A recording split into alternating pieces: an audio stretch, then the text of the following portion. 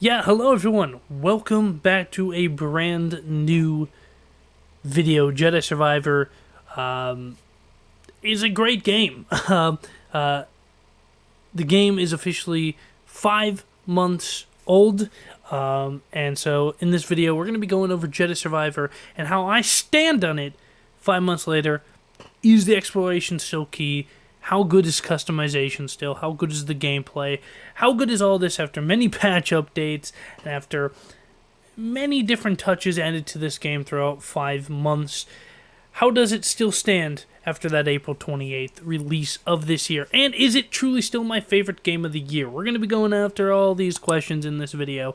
Uh, I'm not going to be going over the story. You don't have to worry about that. However, I do have a full story review, so if you guys want to go check that out, I have it up on my channel. So uh, while you're there, you might as well click that little subscribe button so you don't miss another video.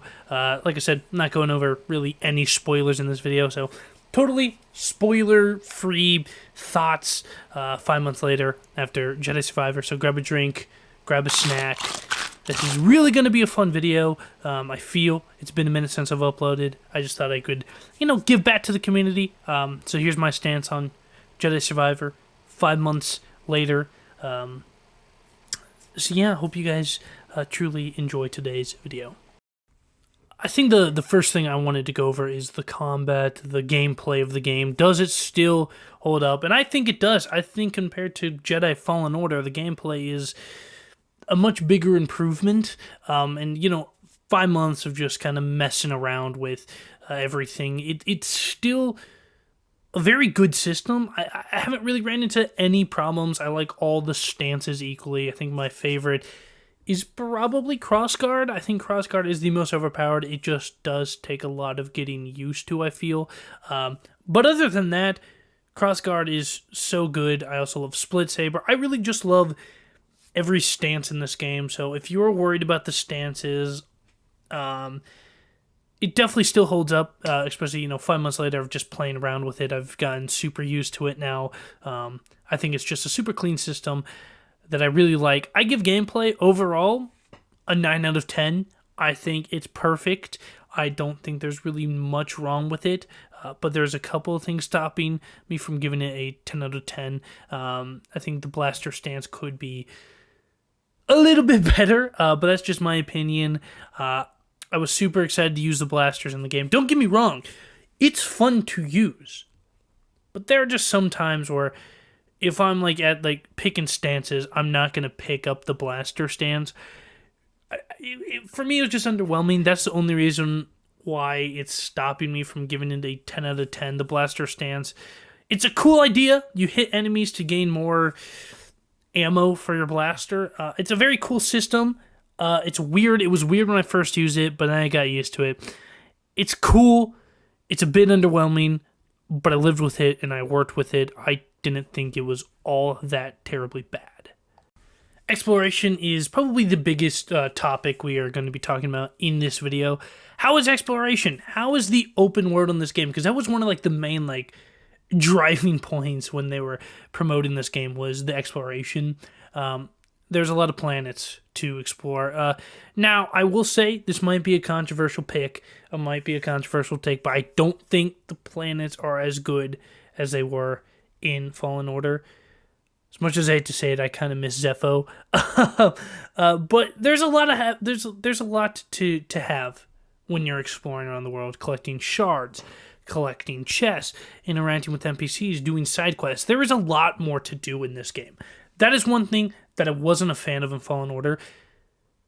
Was I just kind of felt that in Fallen Order, I was kind of only locked into one place, and they promoted it as an open world game, but it just didn't feel like I was able to explore much. And that was definitely one thing that I think that was like their heavy like implication is hey, we are gonna go in and we're gonna fix the exploration. We're gonna make the exploration good. And they did. The exploration is key. Explore. Um, if you saw my tips video that I uploaded a couple a couple months back, is, is I said wait to explore until you finish the main story because there's just a lot of th- a lot of things when you explore you can't get unless you unlock certain abilities from the main story. Like there's puzzles that you can't do unless you have like the lift and slam fe- uh, feature that you unlock in the story. Uh, and that's not necessarily a problem. I'm not like promoting that as a problem. I think exploration is the strongest part of this game other than the story, but like I said we're not going over the story in this video. Exploration's great. I give exploration an overall 10 out of 10. Um, I think overall um, if you really truly want an open world Star Wars game Jedi Survivor might be a pick for you simply because there's so much to do. There's a lot of chests to unlock. There's a lot of shards to buy at like Doma Shop and stuff. There's a lot to do. There's a lot of vendors. I really like the exploration in this game. It's a 10 out of 10 overall. Uh, this next uh, part, I wanted to kind of go over the the main issues uh, I've ran in with the game over these past five months, uh, and, and one of the, the major issues is the game still struggles to maintain its 60 frames. And I know that that has been a huge like thing since launch. But it's so noticeable, especially in the story when there's a lot happening on your screen. Like there's a lot of big action sequences in the main story. And you just see the frames dropping rapidly. And I've maybe played this game like four times and on all four of my playthroughs, I've noticed it. Uh I mean, they keep saying they keep dropping patches, and they're like, "I'm gonna fix this. We're gonna fix that. We're gonna do all of this," and then when you update it and and then you play it, it's still not fixed. And that's the same. Is this game has probably crashed on me over 20 plus times. All of these like major issues that they just have not yet fixed. Another big, um, not a huge issue, but another issue I had is there's been not a single content update. If you kind of remember couple years back, Fallen Order had this like massive update where you could use the Inquisitor outfit and you could run play the whole game using Cal's Inquisitor outfit. They added meditation challenges. They added all these cool things in Fallen Order. And I get they're only five months in, so they'll probably they probably have something cooking. Like there's an outfit. I guess this is like a, a minor spoiler to the main story, but there's like a an outfit that you get. You wear this Imperial outfit um, in the story that a lot of people kind of wanted to keep because it looked cool, but you didn't. So I hope that if they do a content update, then maybe we might get to use it, get to keep it. I don't know how they would do that. We're about to get into customization here in just a minute. So I wouldn't be mad if they didn't do that just because customization is so cool in this game. But overall, these are just some uh, issues I've kind of ran in into the main game other than that, the game is great. Um, I think I just think that it's it does struggle a ton. It is a massive game, so I can see why it struggles a bunch. But these are just some minor issues I've ran into. Uh, so the next big thing I want to dive into is customization. Yes, the moment you guys have all probably been waiting for. Does customization still hold up? Do I still love it as much as I did when the game first came out? Absolutely, this is probably my favorite part of the entire game.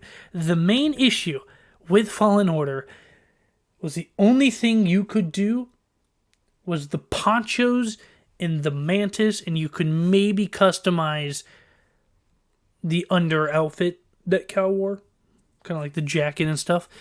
That was it. You couldn't do anything with his hair. You couldn't make him have a beard. You couldn't like do anything else. You had to continue wearing the scrapper clothing. And I'm so happy that Fallen or, or that Jedi Survivor decided to take a different approach and actually give us good customization.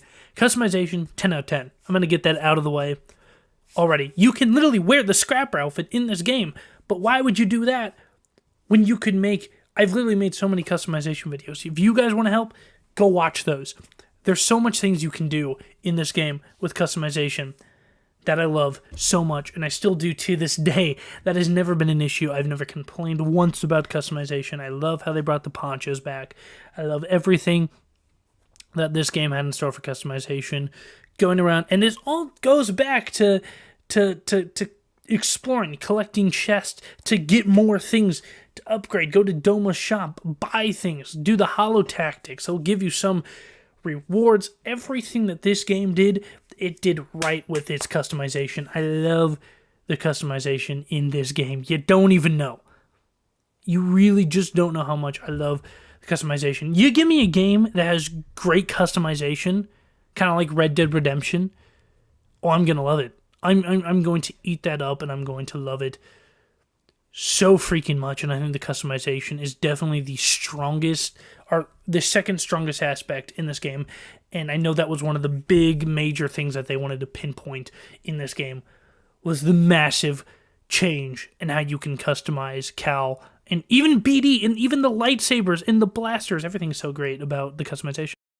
Yeah, so overall, five months later, I think Jedi Survivor is still a great Star Wars game. And if you have yet to play or pick up Survivor, um, either it's because you you don't have a PS5, and I know that they're they're doing a PS4 version, which will be very interesting to see how that plays. It's still so good. I think to this day, it is my second favorite Star Wars game, right behind Battlefront 2. I think that this is genuinely the perfect game for Star Wars fans. I think that the story is a 10 out of 10. I think, like I said, the customization's a 10 out of 10. There's only like a couple minor issues. Even even the frame drops don't even take away the overall immersive experience that you're going to to withstand in Jedi Survivor. Five months later, this game is still a 10 out of 10 in my opinion. I think overall, this is a perfect game for Star Wars fans. Uh, so, it's been five months and you still haven't picked up this game, pick it up, play it, mess around with the customization. You're going to be in for a great time, and I would do anything to go back and play this game for the first time all over again.